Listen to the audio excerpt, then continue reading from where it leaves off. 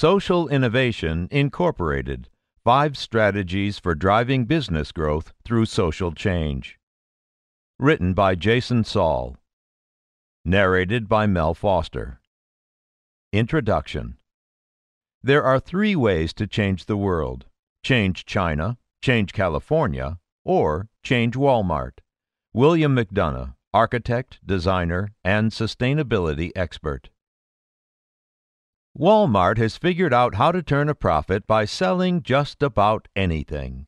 From horse shampoo to sliced cactus to yarn ball winders, Walmart can make dimes out of dust. 2008 net profits were more than $12 billion. But there is one thing Walmart has yet to make profitable doing good. Which is not to say it doesn't do a lot of good. In 2009, Walmart Stores Incorporated and its affiliates gave $423 million in cash and in kind gifts to charities around the world, provided more than 100 million pounds of food to U.S. food banks, and volunteered more than 1 million volunteer hours. But from a business standpoint, the 100,000 plus charities that Walmart supports are cash outlays with no clear return on investment. Now, as social issues like the environment, education, healthcare, and global development become critical to business success, Walmart and companies like it are asking the question how do we turn social strategies into business strategies? At Walmart headquarters, the writing was on the wall, literally. In the lobby of the Walmart home office in Bentonville, Arkansas, the walls are lined with plaques commemorating key milestones in the company's history. 2006 marked a particularly important milestone. It was the year Walmart announced its $4 prescription drug program, a program that guaranteed all Walmart customers access to most generic prescription drugs at only $4. Since its inception, the program has generated more than $2 billion in savings for Walmart customers, particularly the uninsured and Medicare recipients. Moreover, the Walmart effect has prompted other big pharmacies like CVS and Walgreens to follow suit, lowering healthcare costs across the board. The business impact has been tremendous. From September 21st to November 12, 2006, when the program was rolled out to the first 27 states, 2.1 million more new prescriptions were filled by Walmart in those states compared to the same time periods in the prior year. Indeed, the $4 generic program has catapulted Walmart to become the nation's third largest pharmacy, with 16% market share, and demand for $4 medicines helped spur growth of its U.S. comparable stores' sales by 3.3% in 2008. What makes the $4 prescription so extraordinary is that it was designed as business strategy. Yet its social impact is potentially greater than any philanthropic effort could ever produce. Could Walmart possibly offer a better solution to healthcare than Medicaid? And if so, could IBM educate students better than charter schools? Could GE help reduce global warming faster than the Kyoto Protocol? Could Starbucks do more to stabilize the economy in Rwanda than U.S. foreign aid? I wrote this book to answer these questions and to teach companies how to turn social change into a powerful business strategy. There have been many books about how businesses can do well by doing good. This is not one of them. Rather, this is a book about corporate strategy. It is based on more than four years of research measuring the corporate responsibility and philanthropy for many of America's largest corporations. The data made one thing very clear. Very few of these programs generated any measurable business value. Most were designed for a very different purpose doing good. But there were a few strategies that stood out, true business strategies that happened to involve positive social change as a leverage point. These strategies produced breakthrough business results by solving social problems. Some involved creating new socially impactful products and services, like the $4 generic drug program or low cost health insurance for young people. Other innovations served unmet needs in ignored or hard to reach markets, like urban food deserts or extremely poor countries. Some companies innovated alternative solutions to public education by building their own talent pipeline. And some companies were able to create powerful emotional bonds with customers by using their core business to solve social problems, like preventing tetanus for pregnant moms and newborn children. Finally, I came across companies that turned governments into business partners working in innovative ways with public officials to solve social problems in ways that also drive business results, like soap companies educating children about hygiene, or technology companies investing in innovations that increase access to healthcare. These strategies are what I call social innovations, and they offer the keys to unlocking the potential of one of the last great untapped business markets society. Today, companies are operating in a totally different economic context, a market where social change has economic value. Former Vice President Al Gore said, Your employees, your colleagues, your board, your investors, your customers are all soon going to place a much higher value, and the markets will soon place a much higher value on an assessment of how much you are a part of the solution to these social issues. Leading companies are realizing that in order to succeed, they must figure out how to design, manufacture, and sell a product called social impact. Unfortunately, most corporations turn their business brains off when they think about social issues. Most corporate social strategies, from grants to volunteering to environmental auditing, were designed to satisfy society's expectations not to create business value.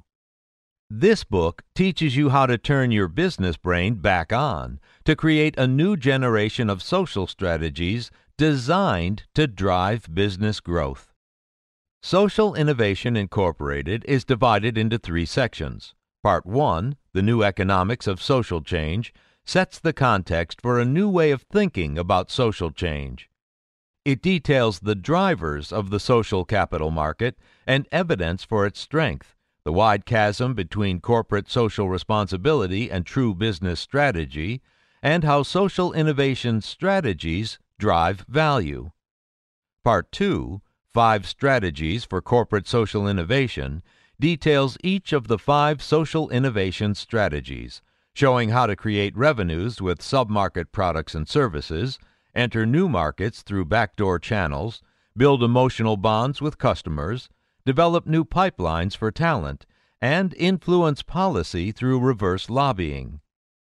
Each chapter begins with an illustrative case study of a company that has successfully implemented the social innovation strategy and continues with a detailed explanation of how the strategy works, the trends that made it possible, and the tips you'll need to be successful. Part 3, The Roadmap to Social Innovation, focuses on the practical realities of crafting and implementing social innovation strategies.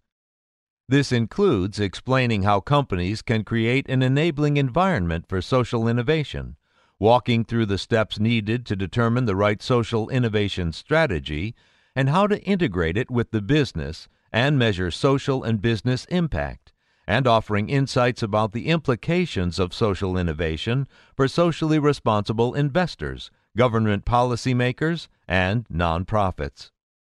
This book is about corporate strategy, not corporate responsibility. It is designed to help companies elevate their social strategies beyond moral obligations to generate real business value through positive social change. It is for those who run companies and those who seek to influence companies. If you believe that social issues have real economic consequences, then it becomes imperative for your company to forge social strategies into business strategies. This book will show you how. Part 1 The New Economics of Social Change Until recently, when companies looked at society, all they saw were costs and risks, regulations, taxes, lawsuits, complaints, grant requests. Activists protest and boycott companies to expose other hidden costs, such as globalization, discrimination, ozone depletion, animal testing, and human rights violations. Economists call these costs externalities. Policymakers develop regulations and taxes to force companies to internalize the costs of these externalities and the market discounts or prices certain externalities into the value of a business. All of this reinforces the view that for business, society only shows up on one side of the balance sheet. Although these costs aren't going away, in fact, they're probably getting even bigger, as the 2010 BP oil leak in the Gulf of Mexico vividly demonstrates businesses are now beginning to see the hidden economic benefits of solving intractable problems facing society. The famed bottom of the pyramid is just the tip of the economic iceberg. Embracing the business potential of issues like the environment, education, healthcare, hunger relief, discrimination, and economic development could earn companies tens of billions of dollars open up new markets, attract new customers, prompt new innovations, and dramatically lower costs. I refer to this unrealized market potential as social arbitrage. Indeed, the economic value of social change by investors, employees, customers, and consumers has given birth to an entirely new market, a social capital market. To capitalize on this new market potential, companies will need to transcend the current mindset around compliance and responsibility and focus on value creation. The following chapters set forth the context and logic for a fundamentally different approach to the business of social change. Chapter 1 The Rise of the Social Capital Market the current economic crisis does not represent just another economic cycle. It represents a fundamental reset, an emotional, social, economic reset. Jeffrey Immelt, CEO of General Electric. Social issues always used to be an afterthought for corporations. Businesses focused first on making money. Then, once bills were paid and profits booked, they looked for ways to give back that's because, as Milton Friedman always said, the business of business is business. And for most corporations, this will always be true. But the business of business is changing, in large part because issues previously considered soft, like the environment, education, healthcare, and global development, now have hard economic impacts. Indeed, when it comes to making key economic decisions, mainstream investors, consumers, CEOs, employees, the media, and Wall Street increasingly value social and environmental impacts. It said a lot when, in 2009, financial data giant Bloomberg decided to include environmental, social, and governance information, ESG, on 2,000 plus companies for clients using their 250,000 data terminals. This new economic reality has completely transformed the role of business in society and the role of society in business. Today, corporate success increasingly depends on social change. Think about it. Companies across sectors cannot grow without tapping into underserved social markets like the uninsured, urban food deserts, or giant developing economies like India. Companies cannot take advantage of these new markets without developing social products and services.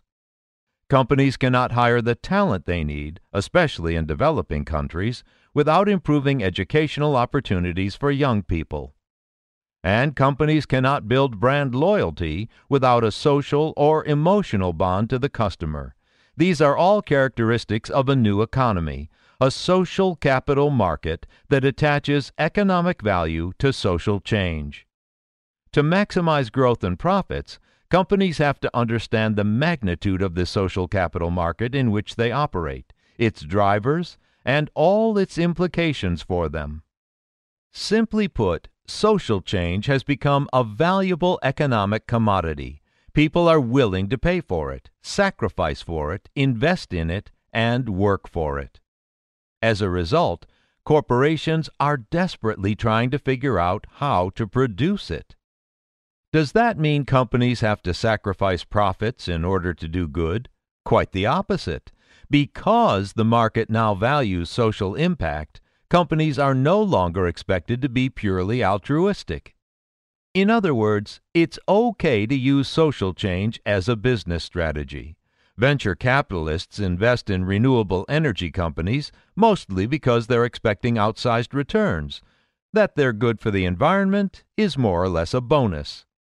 Electronics giant Siemens AG earned 17 billion euros in 2007, nearly 25% of its revenues, from environmental and climate related products like wastewater reuse systems and carbon dioxide abatement products. We, as consumers, are part of this trend too. We purchase hybrid cars, not just to show solidarity for the environment, but also to protect our wallets when gas prices are high. We use websites like kiva.org to make microloans to poor entrepreneurs and get our money back, in some cases even with interest. In each of these instances, corporations and people are driven by a compelling economic motive to make positive social change. Indeed, through creative market mechanisms like these, Corporations, consumers, and investors are finding ways to value social change beyond mere tax incentives and psychic benefits. Size of the social capital market. Indicators of the social capital market size are everywhere you look, and many places you may not. Consumers are putting unprecedented numbers of hybrids and other fuel saving cars on the road. The number of articles in major magazines and newspapers about biofuels, solar power, or any kind of up and coming alternative energy is soaring. Overall, U.S. consumers are estimated to spend over $220 billion annually on goods and services related to health, the environment, social justice, and sustainable living. This market comprises 63 million consumers, or 30% of the U.S. market. It's no surprise that companies are investing heavily to capture a piece of the social capital market, spending a combined $32 billion annually on environmental sustainability, governance, risk, compliance, social responsibility, and philanthropy.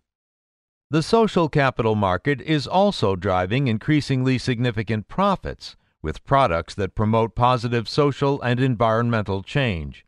As mentioned earlier, Siemens AG derives almost 25% of its revenues from environment related products, and GE's ecomagination strategy generated more than $17 billion in 2008 from eco innovations in wind turbines, water desalination, and other areas. The social and environmental dimension of the investment industry is booming. There are 260 socially screened mutual fund products in the United States with assets of $201.8 billion. A total of $2.71 trillion in the United States and about $6.8 trillion globally is invested more broadly in various funds, pensions, trusts, and other vehicles that use one or more of the three core socially responsible investing SRI strategies screening, shareholder advocacy, and community investing. What is most interesting, though, is that the fastest growing area of SRI is community investing. Over the past decade, community investing, putting money into underserved communities as an investment strategy, has grown an astounding 540%, from $4 billion to $25.8 billion in assets. The investments earn competitive returns, but also produce an attractive social return by giving lower income people access to capital, credit, and training in communities that lack affordable housing, childcare, healthcare, and jobs that pay a living wage. where is all this money coming from and why? According to the European Social Investment Forum, there are four key drivers an increasing demand from institutional investors, for which responsible investment becomes a matter of risk management, particularly around the area of climate change. A further mainstreaming of environmental, social, and governance ESG considerations into traditional financial services. External pressure from nonprofits and the media, and a growing interest from individuals, particularly the wealthy. The Dow Jones Industrial Average now has its own socially responsible twin, the Dow Jones Sustainability World Index, DJSWI, which comprises several different indices based on the top 10% of companies driving sustainability worldwide. The DJSWI grew over 36% in 2009. Not to be outdone, Goldman Sachs, still one of the most venerated Wall Street firms and a survivor of the recent financial services collapse, has developed its own index called GS Sustain, which outperformed the market by 25% by incorporating ESG data.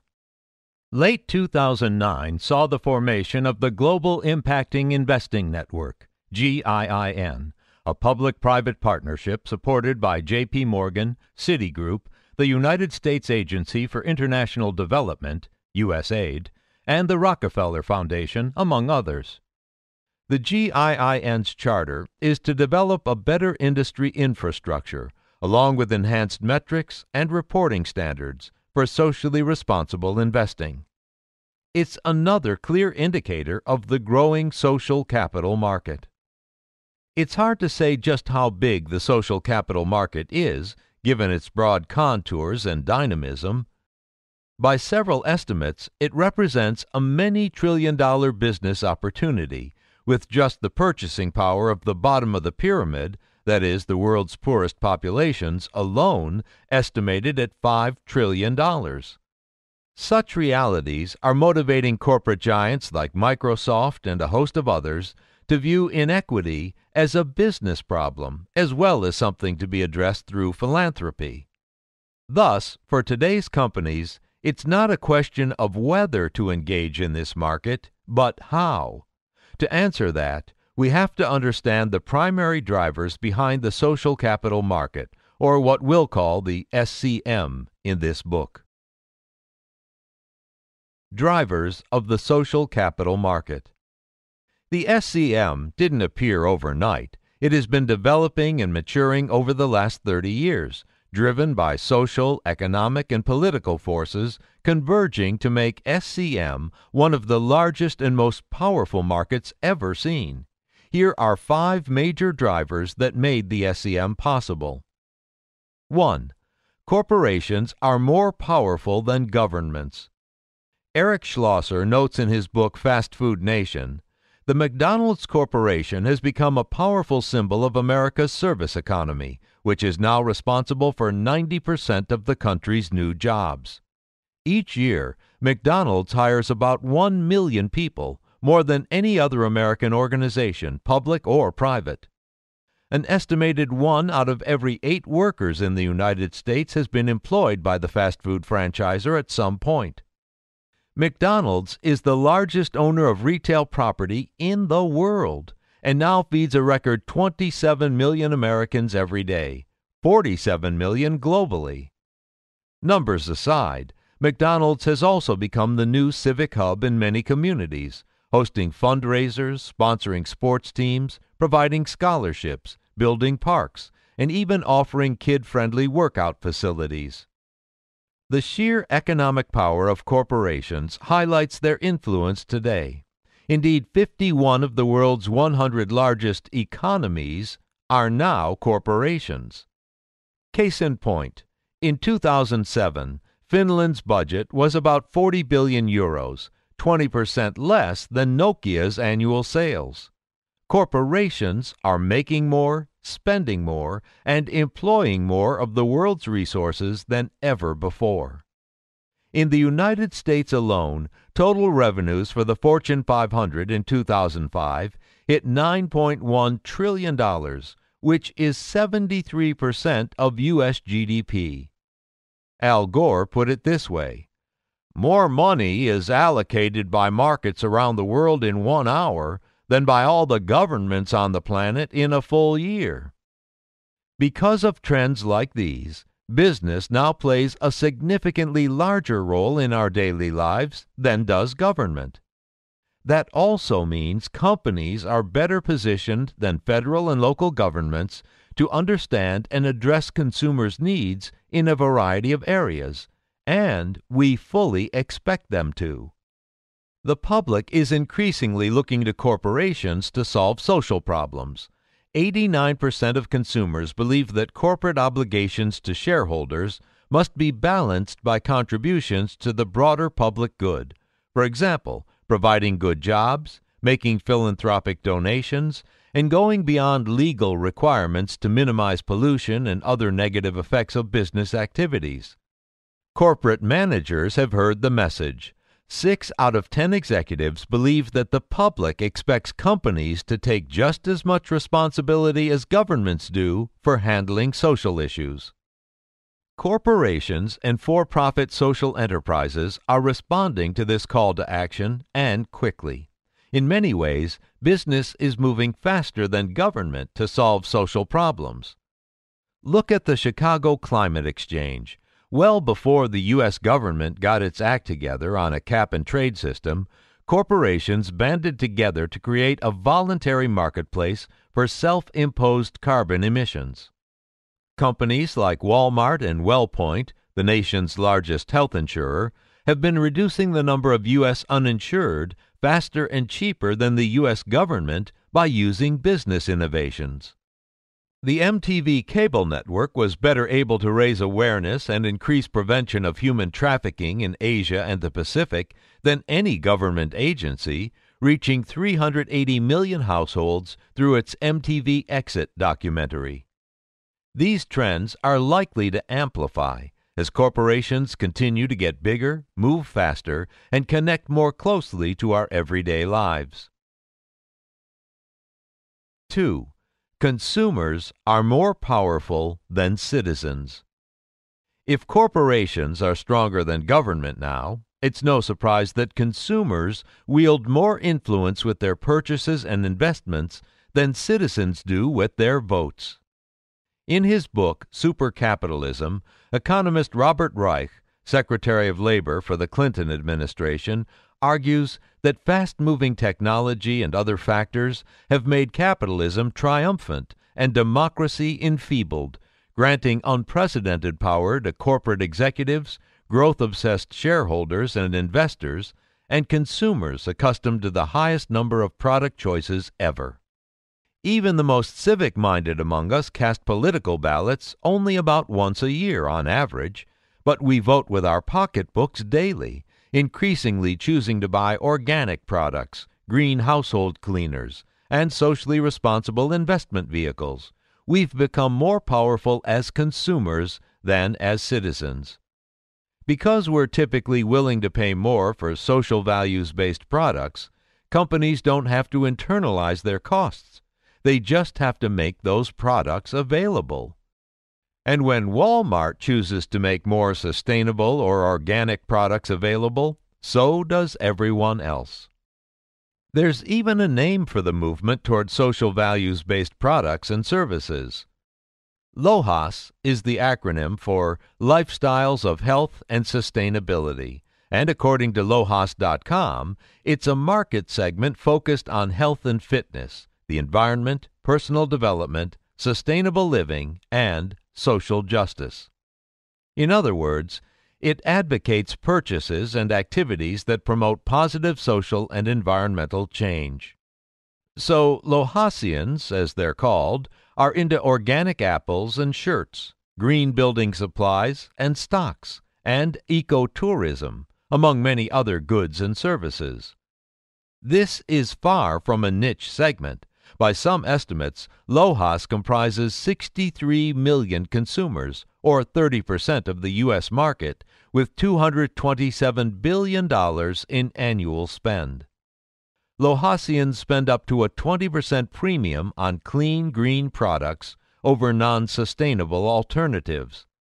These consumers are nearly twice as likely to associate their own personal values with companies and their brands, and research shows that perceptions of environmental, ethical, and social stewardship are the fastest growing influencers of consumer brand value.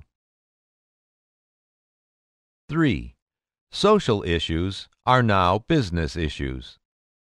In a recent survey by McKinsey & Company, CEOs were asked, which of the following global environmental, social, and political issues are the most critical to address for the future success of your business? Here's what they found 50% of CEOs chose educational systems, talent constraints. 44% chose poor public governance. 38% chose climate change. 36% chose making globalization's benefits accessible to the poor. For example, bottom of the pyramid product development and marketing, microfinance. 35% chose security of energy supply. 12% chose access to clean water, sanitation. 8% chose HIV, AIDS, and other public health issues. 100% of respondents named a social issue that was directly affecting the success of their businesses. No one wrote in, not applicable. The very fact that McKinsey is conducting this survey says a lot about the growing importance of social issues in business. The bottom line social issues are no longer optional for today's business leaders. Here's a closer look at why that is the case. Environment The global population uses over 320 billion kilowatt hours of energy a day, or the equivalent of 22 light bulbs burning for 24 hours for every person on the planet. We're expected to use about three times that much within the next century. Fossil fuels are finite, and they contribute to problems like pollution and global warming. Almost no one questions these facts now. Energy is a big problem, and big problems require big solutions. The companies that generate big solutions to the big problems, whether with wind, solar panels, hydrogen cells, or other technologies to provide alternative energy or decrease the impact of fossil fuels, are going to drive the greatest profits and the greatest environmental benefits. Among them is GE, who is leading the way with its Ecomagination strategy, innovating products like locomotive emissions kits that reduce pollution associated with train operations, amorphous transformers, more efficient, lower carbon dioxide emitting transformers used in electric grids, desalination technologies to convert salt water to fresh water, and other energy efficient solutions that contributed to more than $17 billion in revenues in 2008. The Ecomagination website sums it up. Through Ecomagination, we're helping to solve the world's biggest environmental challenges while driving profitable growth for GE. Clearly, GE understands that social and environmental issues are potentially very profitable business issues. Education. The unfortunate reality is that most corporations are directly paying the price for America's education woes. Despite enormous investments in education, U.S. federal and state governments will spend more than $540 billion in 2011.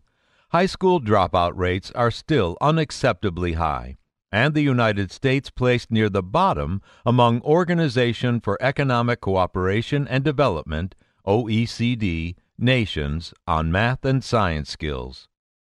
As a result, companies can no longer count on the U.S. education system to produce students with the skills they need to succeed in the modern workplace. So it's not surprising that private companies are helping to create alternative educational pathways to foster the skills they need, discussed extensively in Chapter 7 Develop New Pipelines for Talent. Such pathways include career academies funded by corporations and private sector apprenticeships, higher quality vocational schools, and online learning options are also helping to address the skills gaps. Solving the education problem also presents a tremendous business opportunity for corporations. According to the Education Industry Association, education is rapidly becoming a $1 trillion industry, representing 10% of America's GNP and second in size only to the healthcare industry. Education companies alone generate more than $80 billion in annual revenues. The for profit market includes everything from child care and pre kindergarten spending, testing and training, technology, post secondary education, and trade schools. Education, both as an issue and as an opportunity, is economically significant. Healthcare.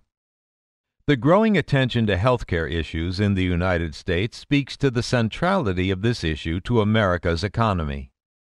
Healthcare costs continue to rise rapidly in the United States and throughout the developed world, making this social problem even more economically vital to solve. Total U.S. healthcare expenditures are estimated to have grown from $2.39 trillion in 2008 to $2.50 trillion in 2009. The healthcare market in the United States in 2009 comprised hospital care, about $789.4 billion, physician and clinical services, $539.1 billion, prescription drugs, $244.8 billion, nursing home and home health, $213.6 billion, dental care, $101.9 billion, and other items totaling $611.2 billion. Congress's 2010 passage of health care reform legislation will, if anything, only make this industry more attractive to business, given the government mandate that every American be insured. With 46 million U.S. citizens uninsured when the legislation passed, there's a big business opportunity involved in solving this problem. It's also a matter of efficiency. 38% of Americans, both insured and uninsured, cite affordability of health care as the country's most significant health care problem. These statistics point to problems, but also potential. The private sector can both address social needs and also drive profits by innovating solutions and lowering costs. Global development. One clear nexus of business opportunity and social change is the increasing focus on the bottom of the pyramid, BOP. The BOP is the world's largest and poorest socio-economic group, an estimated 4 billion people living on less than $2 per day in the slums of Brazil and India, the villages of Africa, and many other places. At the same time, the BOP's purchasing power is an estimated $5 trillion, and by the year 2050, 85% of consumers are expected to live in developing nations. Companies are well aware of this. Everyone from Starbucks to Sam's Club is setting their sights on these markets. 4. Philanthropy has become a commodity. Philanthropy used to be a hallmark of distinction and social prestige for corporations and the well heeled.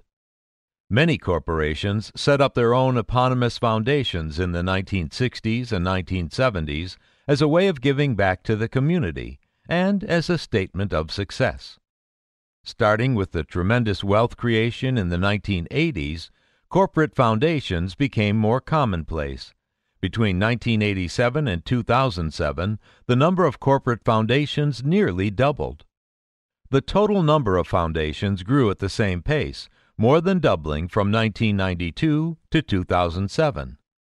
But the bar for prestige ratcheted up even higher in 1997 when Ted Turner famously announced his $1 billion pledge to the United Nations kicking off the age of mega philanthropy. Since then, Forbes magazine has counted a total of 13 more billion dollar donors, from Bill Gates to Warren Buffett to Stefan Schmidheiny, the German industrialist. Big gifts have become so commonplace that when Virgin founder Richard Branson pledged $3 billion for environmental causes at the Clinton Global Initiative in 2006, it barely caused a stir. The pervasiveness of philanthropy has in some ways lessened its wow value. Not only does philanthropy now add little distinction to a corporation's reputation, but it is simply expected of any successful corporation. 5. The value of intangible assets is rising.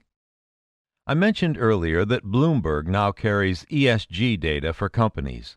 Starting in late 2009, the financial service Behemoth's terminals featured ESG for about 3,000 companies. By some estimates, more than a third of a company's total value is now determined by such soft or intangible, non financial factors. According to John Low, author of the book Invisible Advantage, Intangible assets account for up to 50% of the market value of most large industrial and services companies.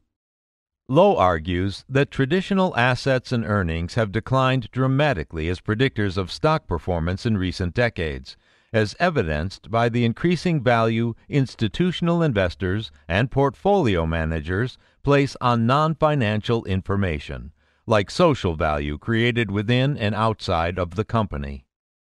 And companies are aware of this, as suggested by their attempts to publicize ESG related efforts.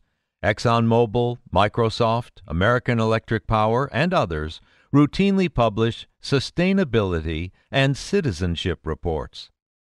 A 2009 Coca Cola 10K filing outlined water scarcity risks and how they are affected by climate change. And National Grid has disclosed how it's linking executive pay to greenhouse gas reduction targets. We hope you enjoyed this preview. To continue listening to this audiobook on Google Play Books, use the link in the video description.